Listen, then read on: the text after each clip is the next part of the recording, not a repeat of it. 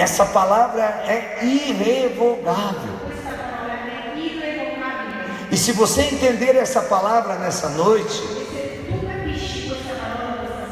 você encontrou a solução dos seus problemas. Você encontrou o caminho do milagre na tua vida. Escute essa palavra.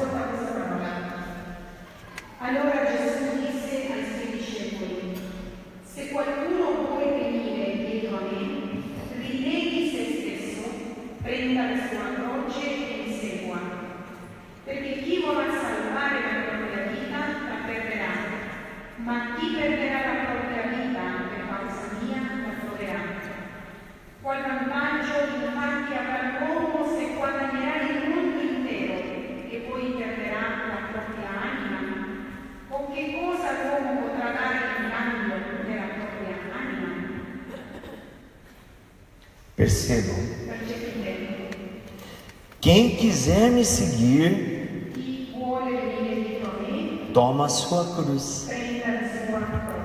Infelizmente, nós não aceitamos da nossa vida a cruz.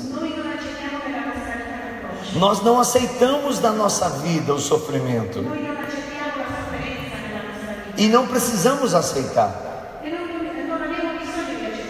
Mas também não podemos abandonar a cruz. Quando Deus permite que algo aconteça na nossa vida, Ele não está nos castigando, nem nos abandonou, mas Ele está nos dando uma oportunidade de milagre.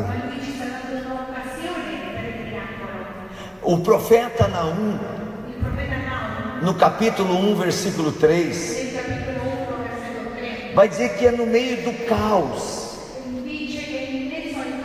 no meio da tempestade, no meio das doenças, que nós podemos sentir quem é Deus. Deus não tira o espinho da nossa carne, o espinho da nossa carne, mas Ele nos dá condição de suportar aquilo, de vencer aquele mal. É por isso que nós temos que seguir o caminho da cruz. Sem a cruz não tem salvação. Eu fiz uma jornada missionária no Brasil. Eu andei por vários lugares sem voltar para minha casa. Foi agora no mês de março. Eu fui a São Paulo.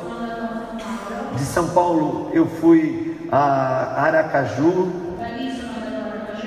De Aracaju eu fui a Belo Horizonte.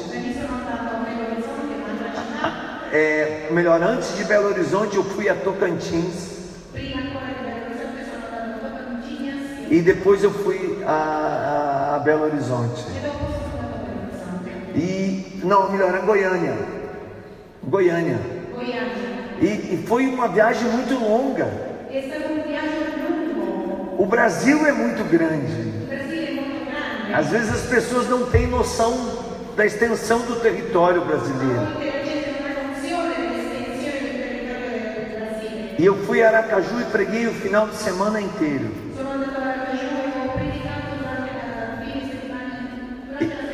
E de Aracaju eu ia a Tocantins.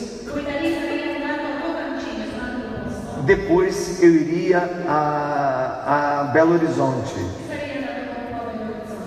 E, e foi uma coisa terrível. É, quando eu saí de Tocantins, a minha passagem aérea aereo é, me fez dar uma volta no Brasil. E eu estava muito cansado. Então, quando eu cheguei no aeroporto de Aracaju, eu pensei: meu Deus, por que me deram essa passagem?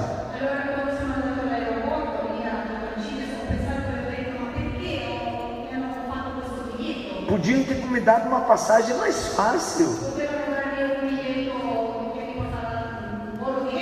Para mim ir de Aracaju para Palmas,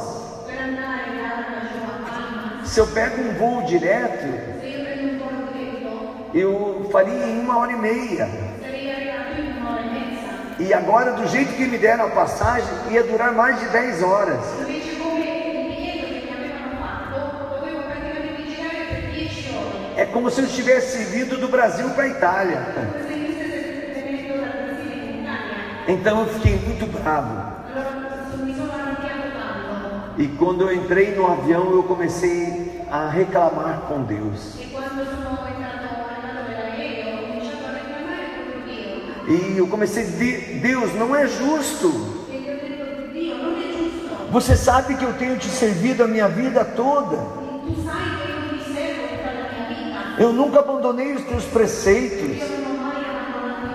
Mas o que está acontecendo de errado é tanto sofrimento.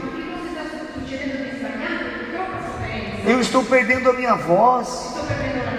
A minha família está passando por sofrimentos. E agora essas pessoas ficam me fazendo viajar 10 horas quando não precisava isso. Queste persone adesso mi stanno facendo girare per 10 ore quando sarebbe stato possibile diversamente. Senhor, o que está acontecendo de errado? E assim eu fui reclamando de Aracaju a Recife, aonde eu ia fazer a primeira escala. E quando eu desci no aeroporto de Aracaju, eu fui até o portão 6 sono andato al portone 6 e sentei ali para esperar meu voo. Então eu percebi, Deus tem alguma coisa para fazer.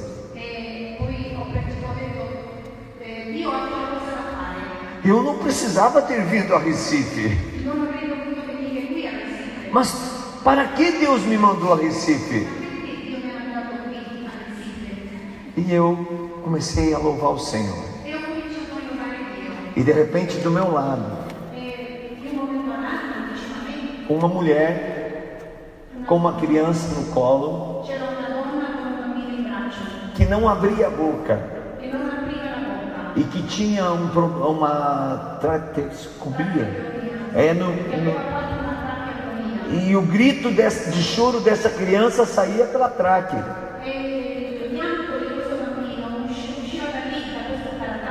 E a mãe tentava colocar alimento para aquela traque. E aquela criança se afogava. E o grito daquela criança era desesperador. E eu fui perdendo a paz de novo com o grito daquela criança. E eu levantei para brigar com a mãe.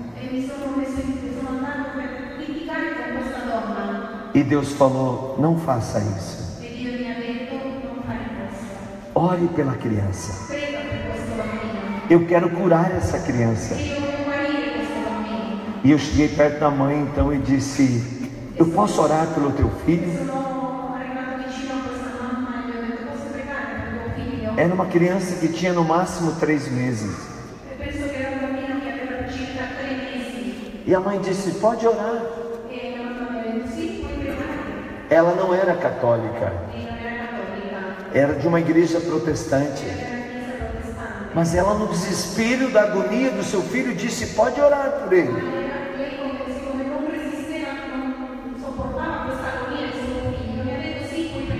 E eu coloquei a mão sobre a criança e comecei a orar por essa criança. E quando eu estou orando por essa criança, a criança vai se acalmando e começa a abrir os seus braços. Abre a sua boca e começa a bocejar como se tivesse com sono.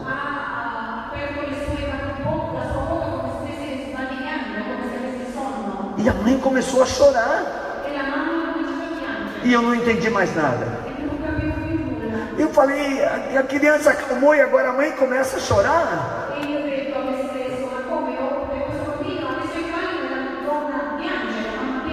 Então eu perguntei para a mãe o que está acontecendo.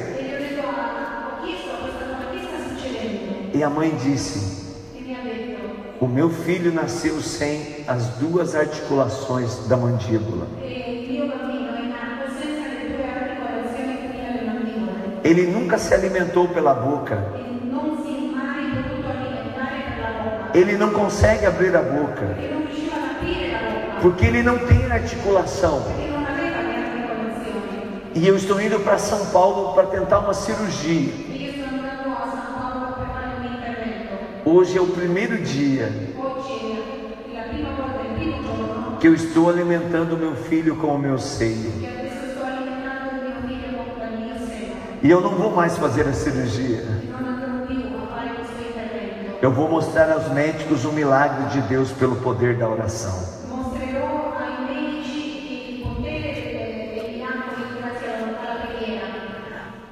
Cruz não é problema. A cruz é a solução. Se eu não tivesse passado por aquele sofrimento de viajar o Brasil todo,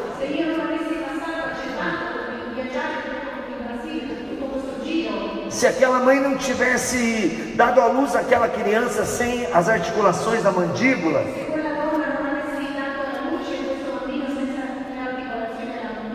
nós não teríamos visto o milagre. Deus não poderia realizar Io milagre. E foi bonito ver ali naquele aeroporto, diante do portão 6, È stato bello vedere in quell'aeroporto davanti al 26 a mãe chorando e as pessoas ajoelhadas louvando a Deus diante do milagre.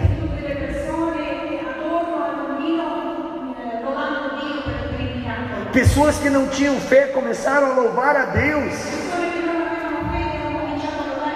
porque os milagres estavam ali acontecendo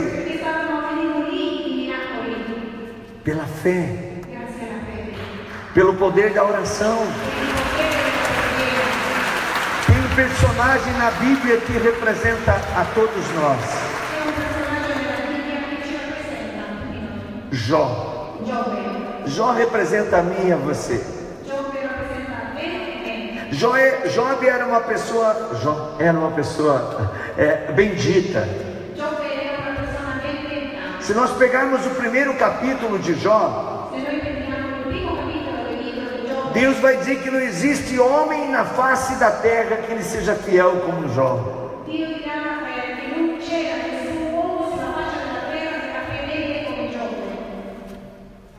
E no entanto, nos versículos seguintes, vai convocar as suas criaturas para fazer uma convenção.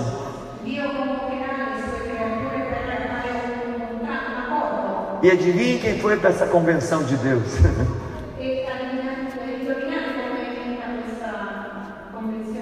O demônio. E o demônio disse para Deus: Jó só te é fiel porque ele tem uma família perfeita, porque ele tem muitos bens, porque ele tem um, filhos eh, que são fiel a ele, porque ele tem muitos amigos.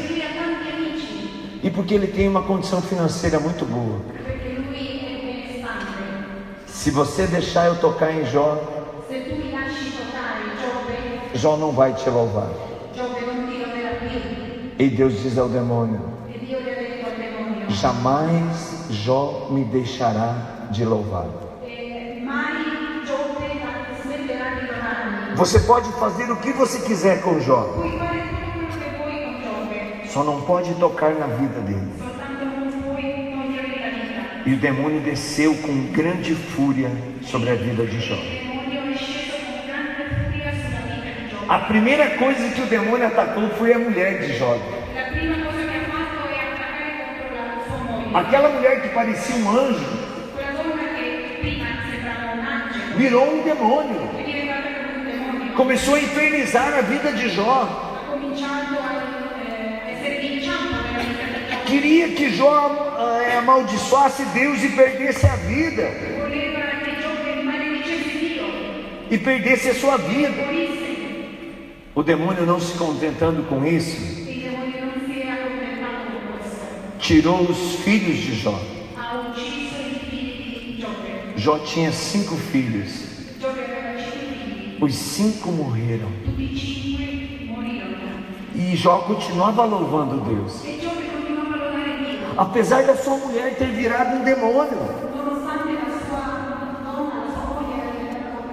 E viver infernizando a sua vida. Perdeu os seus filhos. E começou a ficar doente.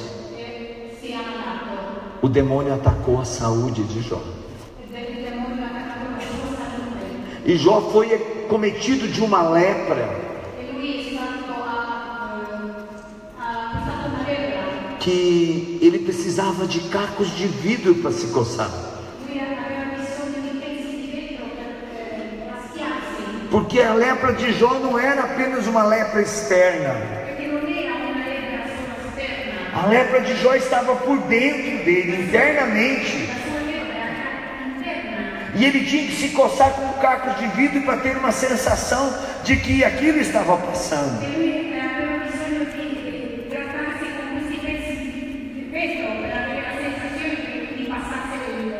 E mesmo assim Jó continuava louvando Deus. O demônio não contente com isso, começou a atacar os bens de Jó. Os campos de Jó começaram a não produzir mais nada. Os rebanhos de Jó começaram a morrer. Jó perdeu tudo que ele tinha. Jó tinha muitos amigos. Por último, o demônio afastou os inimigos de Jó. Por. Jó ficou sem ninguém. Não tinha mais a sua esposa, não tinha seus filhos, não tinha mais seus bens, não tinha mais amigos, não tinha mais saúde.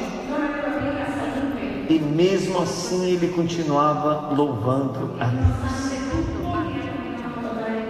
Nos 42 capítulos de Jó, Durante tutti i 42 capitoli di Giobbe, por 16 vezes, o dem- o demônio levou Jó a murmurar contra Deus.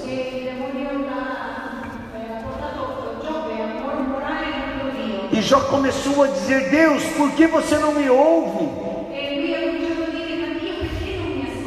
Deus, por que meus filhos morreram? Deus, por que você me abandonou? Deus, por que eu estou doente? Deus, por que meus amigos me abandonaram? Deus, por que meus campos não produzem mais nada? Deus, por que meu rebanho morreu? Deus, por que minha mulher virou um demônio? E fica me pressionando o dia todo. E Jó ficava, por quê? Por quê? Por quê? E quanto mais ele falava, por quê? Mais desgraçada ficava a sua vida. Nós estamos nos trucidando. Porque nós estamos que nem Jó. Por quê? Por quê?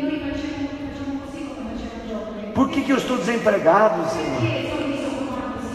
Por que, que eu estou passando por essa depressão? Por que eu estou com esse tumor? Por que minha família não vai à igreja? Por que meus filhos estão nas drogas? Por que eu não consigo vencer o meu pecado? Eu tenho uma notícia para te dar. Se nós permanecermos no porquê, nós vamos para o inferno. Porque o louvor vai fugir dos nossos lábios. Labbra. e nós vamos murmurar, reclamar, reclamare, ser vítima. a sentirci vittime. Se o porquê continuar, nós vamos morrer doente e nada vai mudar na nossa vida. vita.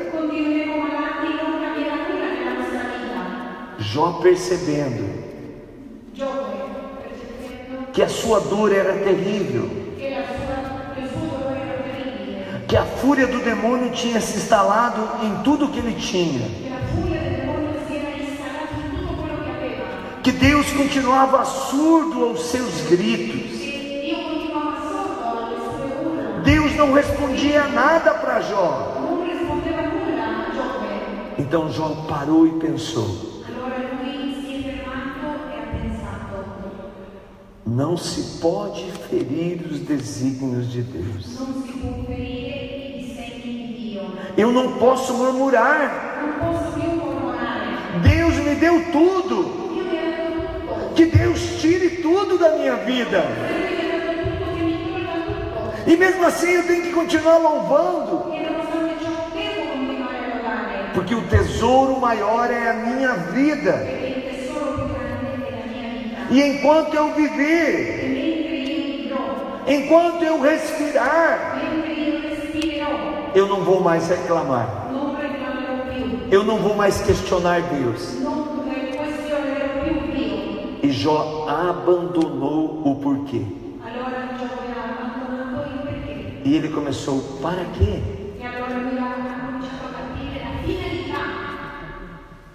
Para que eu estou sofrendo? Para que minha mulher está desse jeito?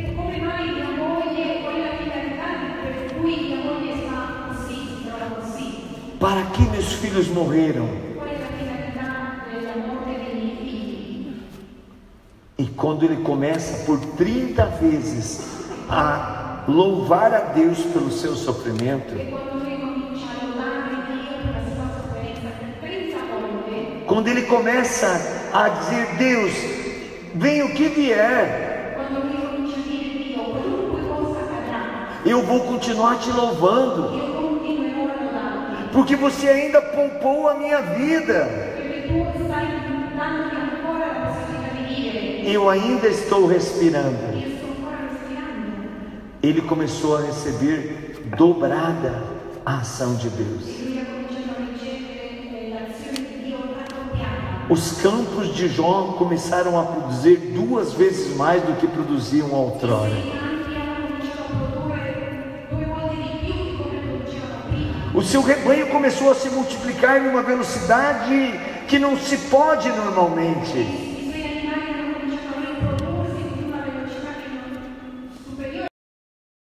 E ele tinha o dobro do rebanho. A sua saúde voltou. A lepra desapareceu. Ele tinha o dobro do vigor que tinha antes. Transformando. E o amor que ele começou a viver com a sua mulher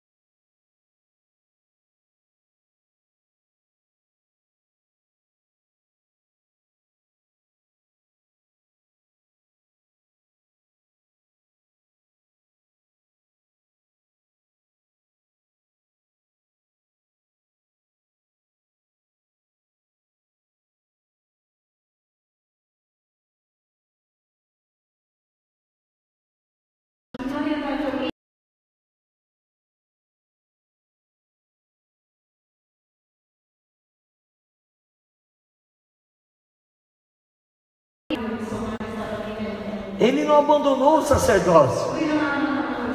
Ele está aqui no meio de nós, mesmo na cruz, continua sacerdote. Porque a cruz não é castigo, a cruz é sinal de conversão,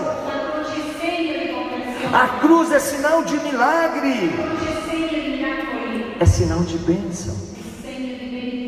Eu estou vendo você aí no meio do povo, e eu posso dizer que você é um sinal de milagre, porque Deus te curou.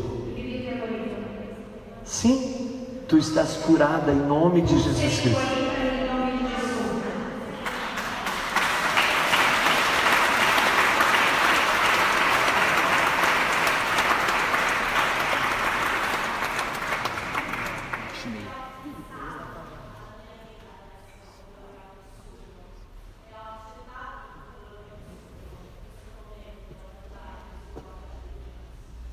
Amém?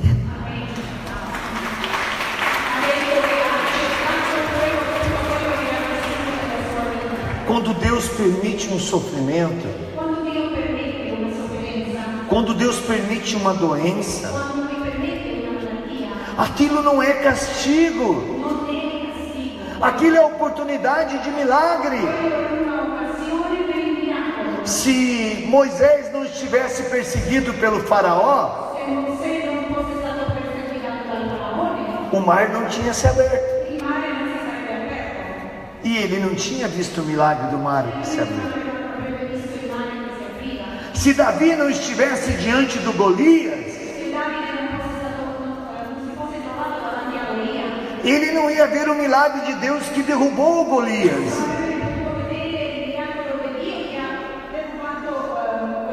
Certamente não foi a força de Davi, nem o poder de uma pedra, mas foi a força de Deus, o poder de Deus, que derrubou Golias que estava diante de Davi. Se Eliseu não estivesse visto o sofrimento de Elias, ele não receberia uma porção dobrada do Espírito. Mas por ele ser fiel mesmo no sofrimento,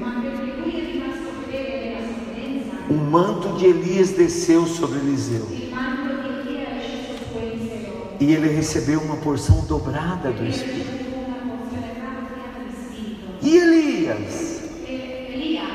Diante dos profetas de Baal, eram 450 profetas, erano 450 profeti. e eles disseram para Elias: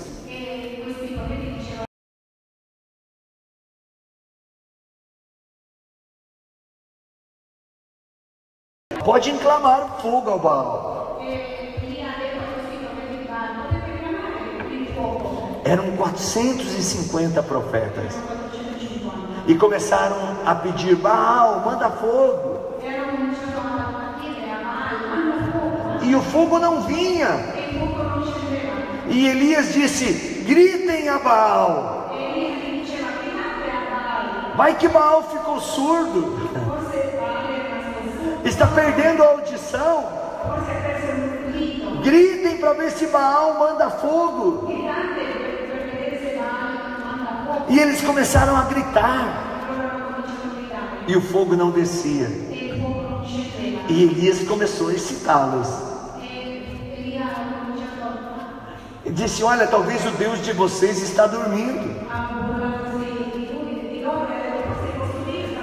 Talvez ele tenha viajado para uma cidade distante. Gritem mais alto. E assim ele mandará o fogo. E eles começaram a gritar, a gritar, a gritar até se esvair. E o fogo não descia. Então Elias disse para eles: Talvez o Deus de vocês gosta de sacrifício. Arranquem vossas espadas, Comecem a se cortar.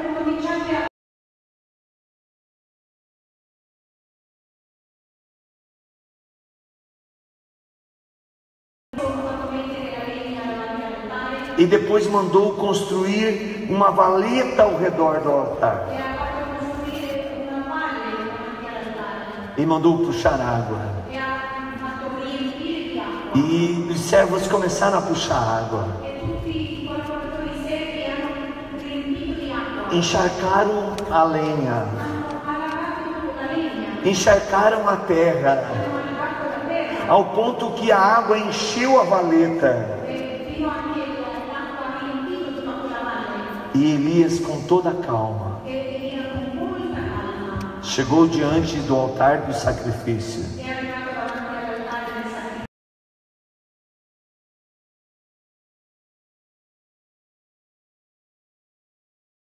Esse é o Deus que eu creio. Em qual Deus você crê? Você se encontra como os profetas de Baal ou como Elias? o Deus que você serve é o Deus de Elias? Ou é o Deus da magia negra, do satanismo, das seitas ocultas, dos amuletos? E de tudo que tem por aí de errado, de tudo que tem por aí de falso caminho? A palavra que você obedece? A palavra de Deus ou a palavra dos homens? o nosso Deus é o Deus que acalma as tempestades. É o Deus que mostrou a Pedro: se as águas do mar da vida quiserem te engolir, estenda a tua mão e eu te levantarei. É o mesmo Deus que disse a Paulo: Por que me persegue? E Paulo, assustado, caiu do cavalo e começou a obedecer aquele Deus que o mandou até Ananias. E Ananias pediu o Espírito Santo sobre Paulo. E Paulo, de assassino, passou a ser anunciador da boa nova. A quem você quer servir? A quem você confiou a tua vida? Nós temos aqui milhões, milhares de pessoas pelo Facebook orando conosco.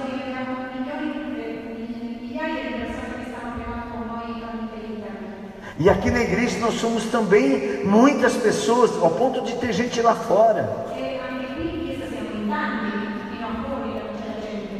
Em quem nós estamos confiando? De quem você está esperando o milagre na tua vida? Da onde você acha que proverá a graça que você precisa? Abraão respondeu a, a Isaac. Livro do, do, do, do, do, do Êxodo. Gênesis também. Javé e Iré. Deus, Ele mesmo proverá o que você precisa. O milagre que nós precisamos não depende dos homens, não depende dos anjos, não depende dos demônios, depende da nossa fé no Deus vivo, no Deus que criou todas as coisas.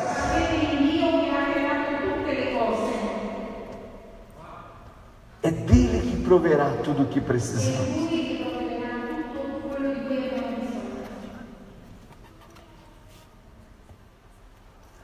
No começo,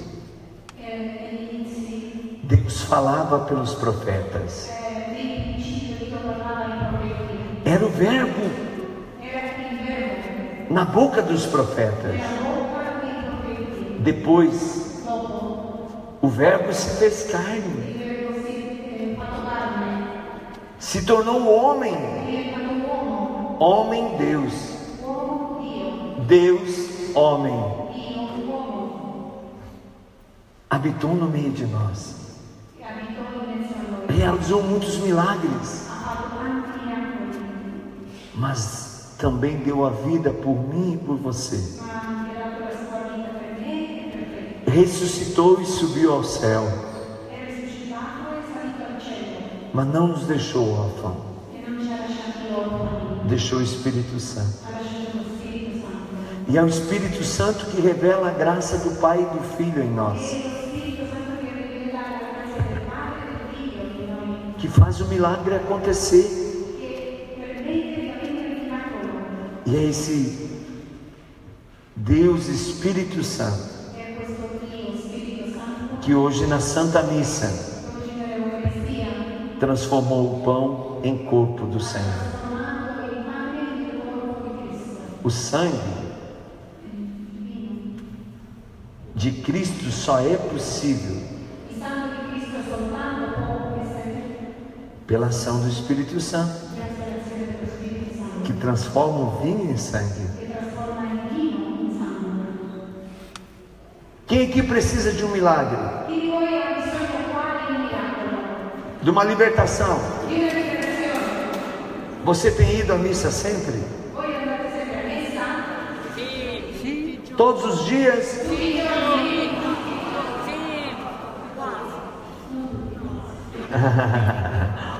Me engana que eu gosto. Quando eu cheguei aqui para a missa das seis horas, a messa alle 6, a igreja estava vazia. E olha quanta gente tem aqui agora. A quem vocês pensam que vão enganar? Pare de se enganar. Entregue a tua vida para aquele que é dono dela. Nós vamos receber Jesus na Eucaristia. Vamos adorar Jesus. E com certeza Jesus fará os milagres que nós precisamos. A palavra de Deus em Mateus capítulo 7, versículo 7. Ela vai dizer: Pedi e recebereis. Vocês que estão pela internet, peçam também. Para Deus não há distância. Deus pode tudo. Nós estávamos em Barbosa Ferraz, Marcelo estava junto, no santuário de Santa Rita. nel santuario di Santa Rita. E o evento já estava terminando. O sacerdote já tinha dado a bênção com o Santíssimo Sacramento. E o Senhor disse: pegue o microfone. E eu não sabia o que Deus ia fazer, mas eu precisava obedecer a Deus. Então fui ao sacerdote e pedi o microfone. E o Senhor disse para mim: E il Signore mi ha detto Eu estou ressuscitando uma vida. Não tinha ninguém morto dentro da igreja, mas eu precisava acreditar que Deus estava ressuscitando uma vida. Então eu disse: O Senhor está realizando um milagre de ressurreição.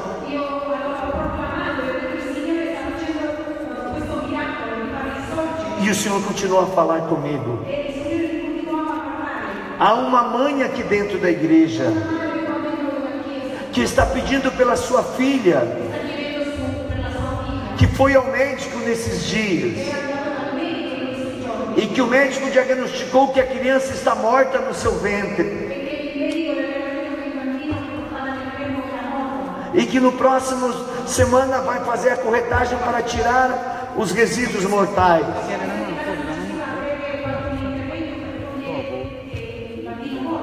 Mãe, ligue para sua filha.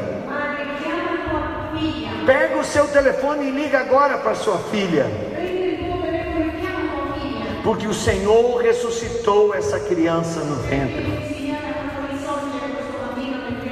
E ela pegou o telefone imediatamente e ligou para sua filha. E a sua filha estava em prantos de louvor.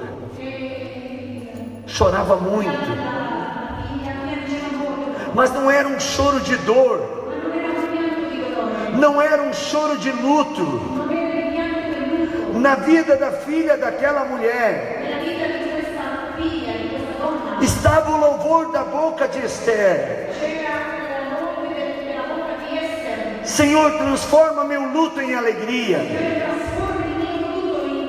Senhor, transforma as minhas dores em bem-estar.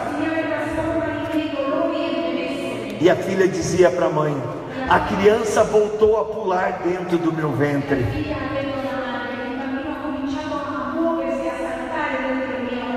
Na quarta-feira, a filha foi ao médico. E o médico disse: Eu não sei o que aconteceu.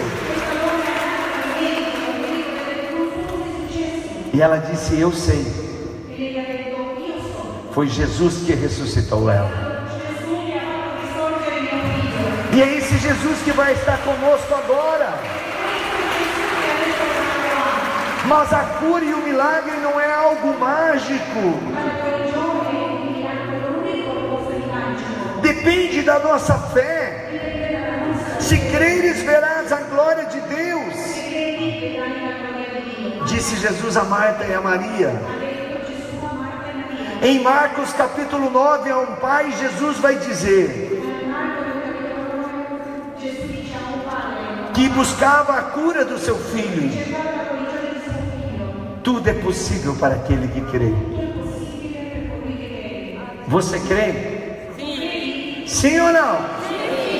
Então o milagre vai acontecer nessa noite na sua vida. Se você crê, dê glórias a Deus.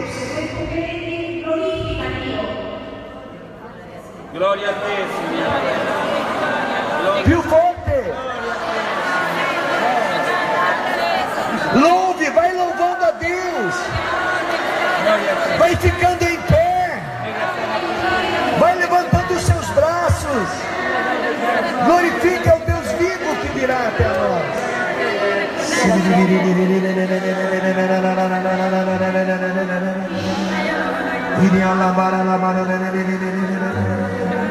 Vem, Senhor Jesus. Eu preciso de um milagre. Eu preciso de uma cura. Eu entrego a minha vida a Ti, Jesus. Vem, Senhor Jesus. Vem, Senhor Jesus.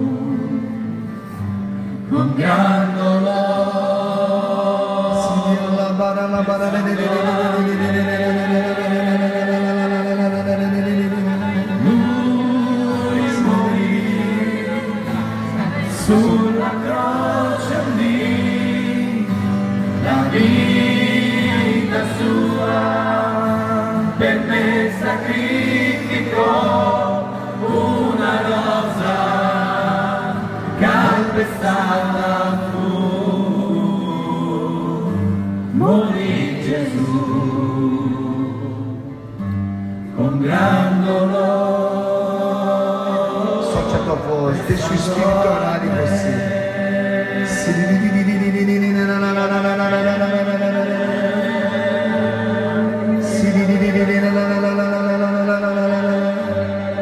Mais alto, mais alto que você puder.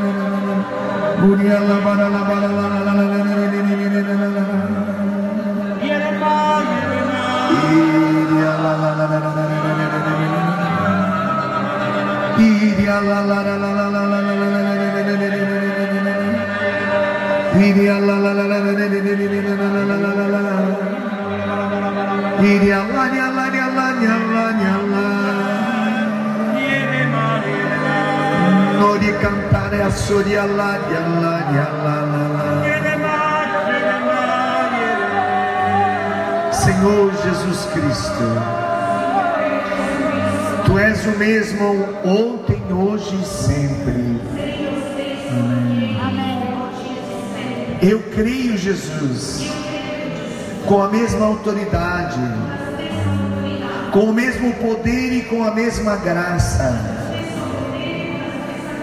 que tu esteve em Jerusalém, a Cafarnaum, e realizaste muitos milagres, curaste os cegos à beira do caminho, curou a sogra de Pedro, levou a graça da conversão a Zaqueu, realizou tantos prodígios e milagres, acalmou as tempestades, expulsou os demônios, curou os paralíticos, multiplicou os pães, ressuscitou os mortos. Por último, Senhor, tu venceu a morte. Senhor Deus, curai os enfermos, libertai os que estão possessos de demônios, libertai aqueles que estão prisioneiros de doenças espirituais, de doenças físicas. Faz chover nesse lugar, Senhor. Sinais, prodígios e milagres. Abre as portas do céu e faz chover sinais e milagres para que a igreja dos nossos dias seja uma igreja de fé viva,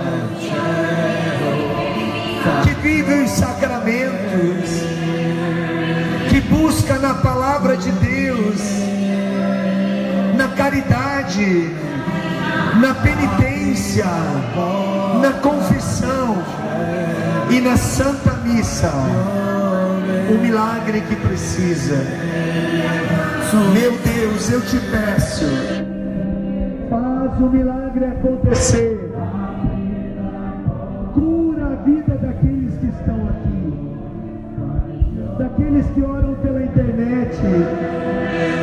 Faz chover milagre nos quatro cantos da face da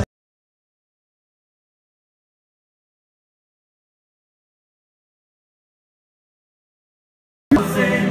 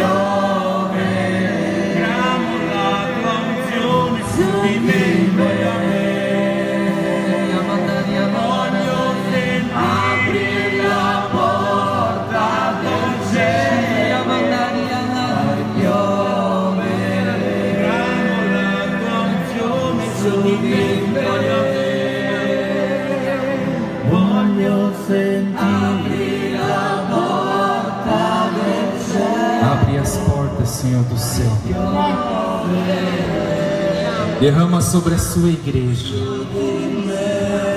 o impactamento espiritual. Nós queremos sentir, Senhor, ação do teu amor, ação do teu espírito sobre nós, sobre a tua igreja.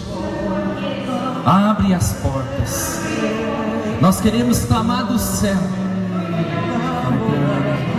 Nós queremos clamar do vosso coração. Esta unção que se derrama sobre nós nessa noite. Tu és essa luz, Senhor, que ilumina os nossos caminhos, que cura as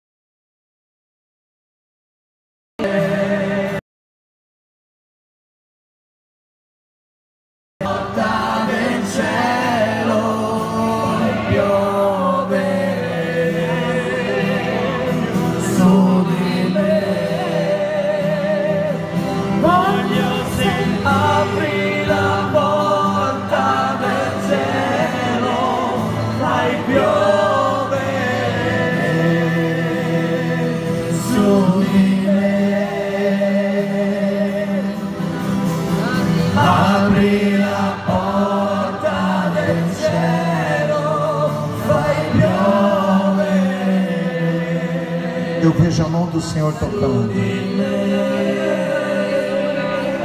Poderosamente.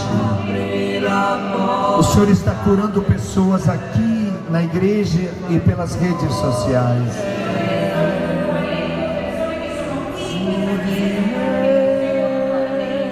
Eu vejo o Senhor curando pessoas com herpes genital.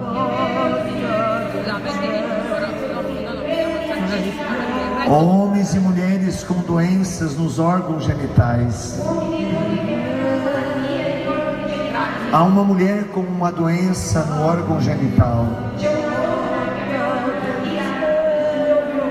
Há um tumor há mais de seis anos. Deus está curando você agora. Eu vejo Deus curando uma pessoa com um tumor no ânus.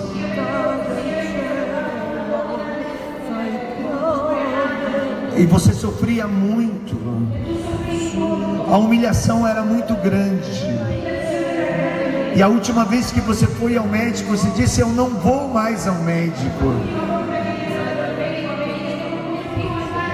Ou Deus cura-me, ou Deus tira a minha vida. Deus está te curando e prolongando a tua vida. Receba a cura desse tumor. Eu vejo o Senhor curando pessoas.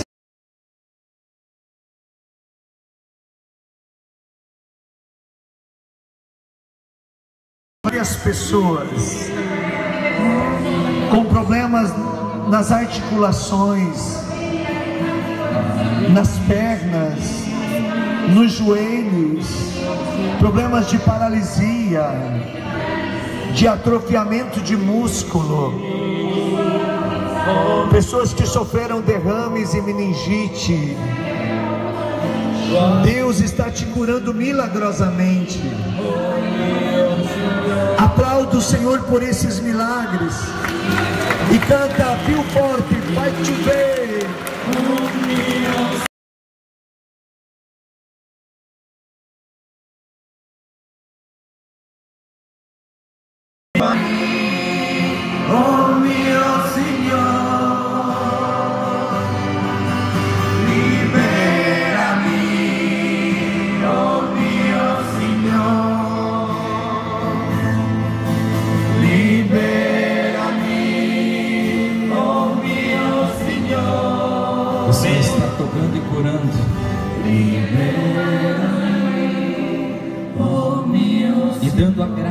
Da maternidade a muitas mulheres que aqui estão. Mulheres que estavam com problema no útero. Louve e bendiga o Senhor pela graça recebida. Oh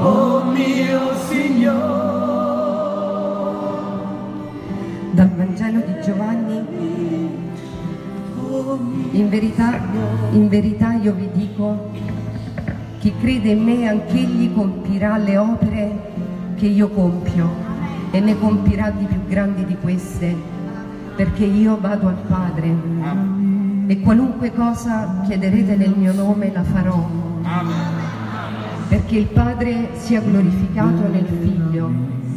Se mi chiederete qualche cosa nel mio nome, io la farò. Se mi amate, osserverete i miei comandamenti. E io pregherò il Padre ed egli vi darà un altro paraclito, perché rimanga con voi per sempre lo Spirito della verità, che il mondo non può ricevere perché non lo vede e non lo conosce. Voi lo conoscete, perché egli rimane presso di voi e sarà in voi. Non vi lascerò orfani, verrò da voi. Ancora un poco il mondo non mi vedrà più, voi invece mi vedrete, perché io vivo e voi vivrete. Benedetto sei tu, Signore. Benedetta, Signore, la tua promessa, Gesù. E caro fratello e sorella, ti invito in questo momento a chiedere nel nome di Gesù che la tua fede venga guarita. Cara sorella, Nel nome di Gesù chiedi la pace perché il tuo cuore non sia turbato. Amen. Nel nome di Gesù, nel tuo nome, Signore, noi chiediamo la grazia questa sera, Gesù, della salvezza di tutti i nostri familiari. Benedetto sei tu, Signore, per la grazia di ogni sposa che ha la tua presenza, Gesù. Ricevi dal tuo Dio l'unzione di pace per ogni sofferenza, per ogni ricordo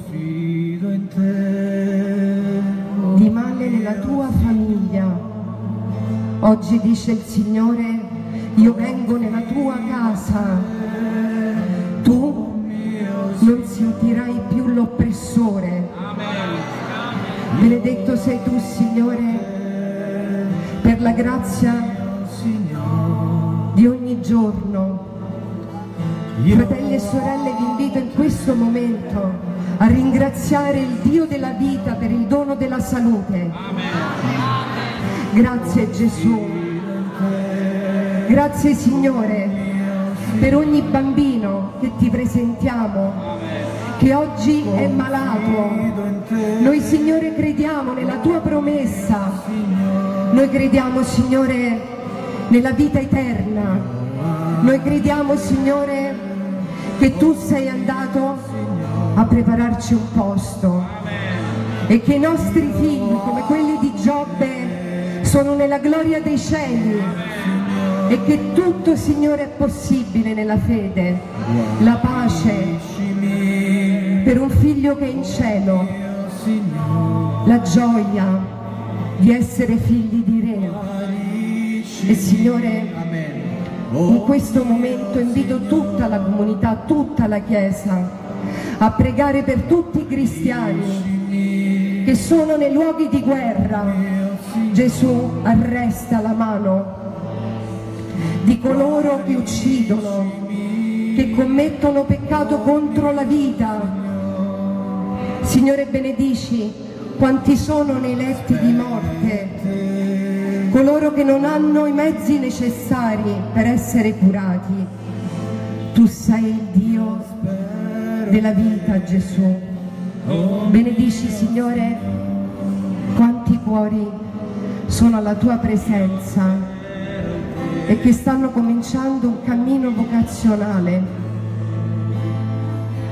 Non temere, io sono con te fino alla fine. Non smarrirti, io sono il tuo Dio. Benedetto sei tu, Signore. Dal tuo trono, Signore, come un fiume in piena, Gesù. Grazie, Gesù. Forte.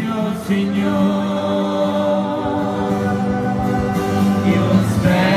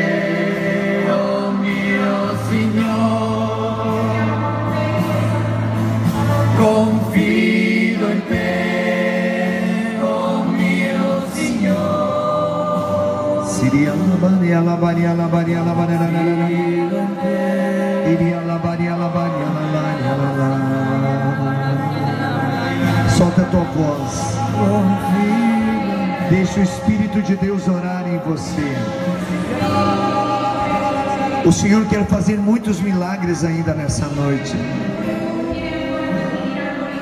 Solte a tua voz.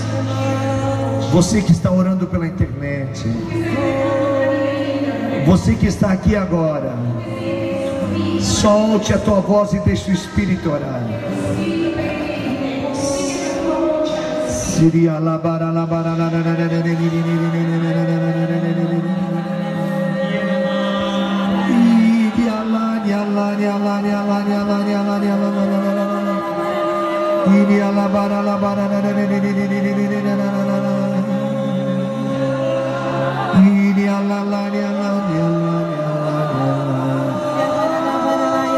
O Senhor está libertando pessoas que eram dependentes do vício, pessoas que viviam a dependência do alcoolismo, pessoas que eram dependentes das drogas, pessoas que eram dependentes de remédio, que se automedicavam sem uma receita médica. E estavam doentes fisicamente, espiritualmente. Deus está curando você agora. Receba a libertação em nome de Jesus. Eu até convido. Eu sei que tem muitos jovens no meio de nós. Jovens que estão orando pela internet. Homens e mulheres dependentes do cigarro. Joga fora agora esse maço de cigarro. Eu te convido, se você está aqui dentro da igreja, você vai sair do seu lugar e vai trazer aqui na frente esse cigarro.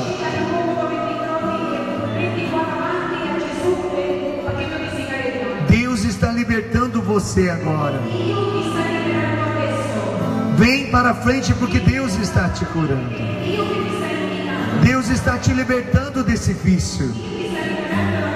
Muitas pessoas que estão me ouvindo agora, vocês a partir de hoje sentirão náusea. Se vocês colocarem um cigarro na boca, vocês vomitarão.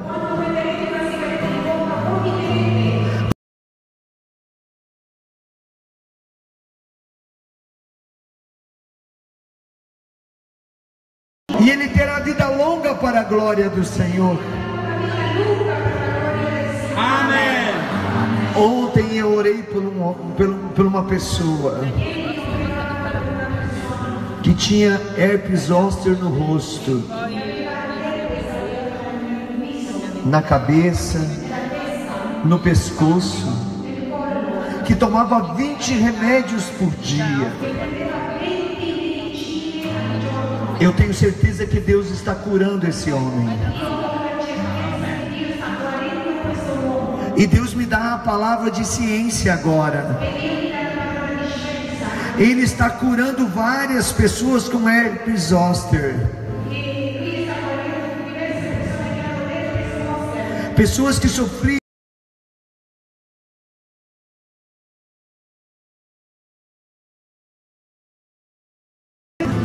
Quanto ho aspettato